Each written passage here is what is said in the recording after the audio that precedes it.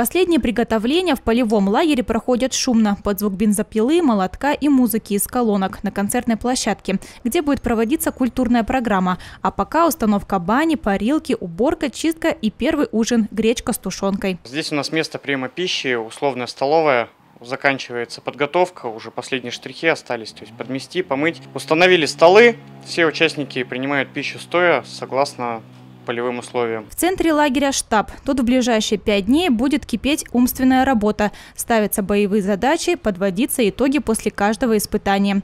Вход посторонним строго воспрещен. Среди дорогостоящей техники бесценным во все времена остается знамя. Наше знамя, знамя игры «Зорница» по всем законам мы храним его и бережем. Если знамя во время игры, к примеру, украдут или оно будет потеряно, то игра приостанавливается. Так же, как и в воинской части, если знамя потеряно, то часть расформировывается. За штабом стройны ряды палаток для участников игры. Юноши и девушки будут жить раздельно. Это, пожалуй, единственное послабление. На испытаниях никаких поблажек. Кстати, в прошлом году в Зорнице девушки не участвовали. Ребят разделят на пять рот, назначат командиров из числа ветеранов военных действий. Один из них – Виталий Кутепов.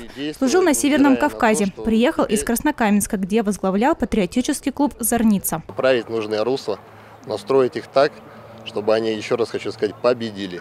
Каждый из них достоин победы. Ну, как говорится, побеждает сильнейший, а главное – участие.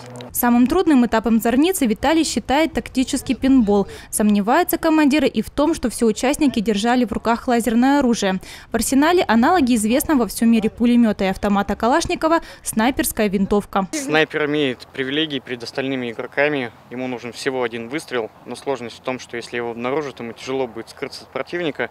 Ну а игроки с автоматами Калашникова и с пулеметами Калашникова с одного одного выстрела они 25% здоровья отнимают у противника. Соответственно, для полной нейтрализации противника необходимо 4 точных выстрела. А вот на площадке спецназ участники игры должны будут продемонстрировать выносливость и силу. Здесь собраны элементы всех возможных полос препятствий. Такого микса не было ни на одной игре «Зорница». Валерия Квашнина, Анна Кулигина, ЗАП ТВ.